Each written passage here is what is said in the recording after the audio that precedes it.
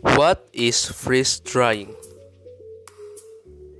Freeze drying, also known as lyophilization, is a water removal process typically used to preserve perishable material to extend shelf life or make the material more convenient for transport.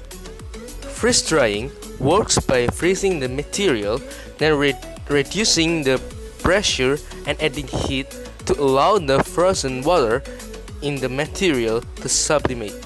There are three primary states to freeze drying. First, freezing phase. Freezing can be done in freezer. Cooling the material below its triple point ensure that sublimation rather than melting will occur and preserve its physical form. Second, primary drying or sublimation phase. Primary drying is the phase in which the pressure is lowered and heat is added to the material in order for the water to sublimate. The vacuum speed sublimation. The cold condenser provides a surface for the water vapor to adhere and solidify. The condenser also protects the vacuum pump from the water vapor. About 95% of the water in the material is removed in this phase. Third, secondary drying or adsorption phase. During secondary drying, the ionically bound water molecules are removed.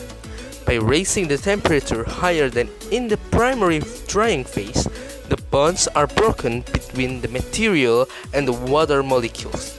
Freeze-dried material retain a uh, for structure.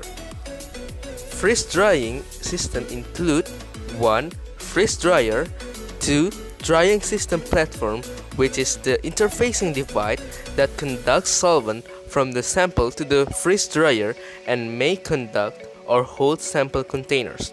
3. Vacuum pump which is needed to lower the pressure around the product to be freezed. 4. Sample containers. In Monday 4th June 2018, our team do an experiment with freeze drying. We use banana as material to freeze drying. Before we start freeze drying process, we should wash our hand, wear our lab coat, cap and rubber gloves and shoes for safety procedure. First step is to peel banana and slice the banana.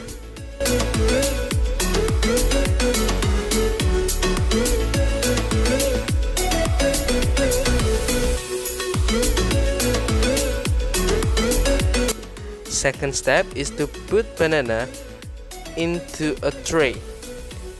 Third step is to put the tr tray in the freezer and let it freeze in one night.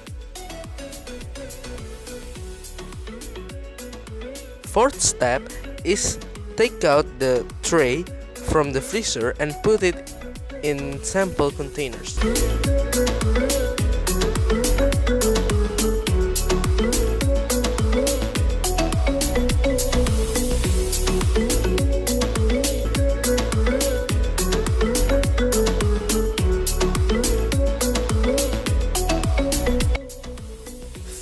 Step is turn on the freeze dryer and wait until it's done.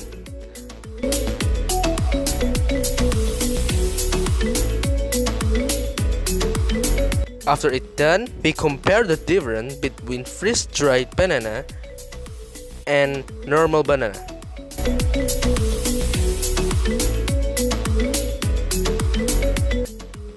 The texture of freeze-dried banana is crispier than the normal banana.